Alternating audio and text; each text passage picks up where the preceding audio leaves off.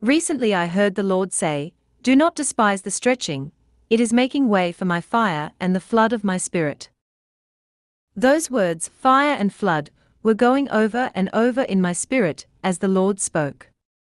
The Lord is bringing a deep stretching in hearts, and lives right now to make room for his fire, and his flood the tidal wave of outpouring.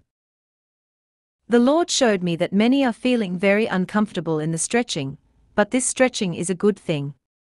It's an extension for more. The Lord is making room like never before, and He is looking for those who are tender to the yielding. He is looking for those who will lean in and not lean away. There is a deep wing and a deep consecration the Spirit of God is calling His people into.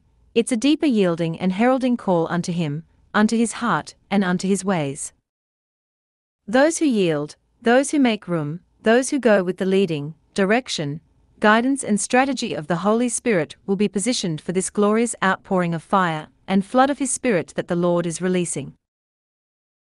I saw many have felt almost drowned by the waters of trial and opposition in this hour that have come relentlessly like wave after wave, but the Lord showed me that in the making room, in the yielding, in the positioning, there's a mighty tidal wave of His Spirit, the greatest outpouring they have seen that is going to plunge them into the depth of His heart, His wisdom, His power, and His revelation than ever before. I saw in these moments what would have taken 12 months to do in the natural, will be done in 12 hours. There is a greater fullness God is wanting to bring. There is a greater training, equipping, and impartation the Lord is releasing that is needed for the days ahead.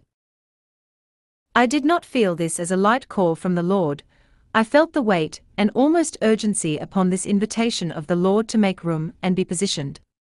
It's a glorious outpouring, a mighty overflow of His Spirit, and a release of His fire that is going to shift and change everything.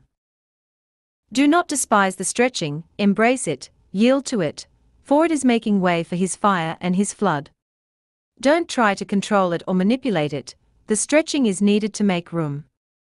His fire and his flood, it's personal and corporate outpouring, but he holds the reins. The positioned cry is Have your way,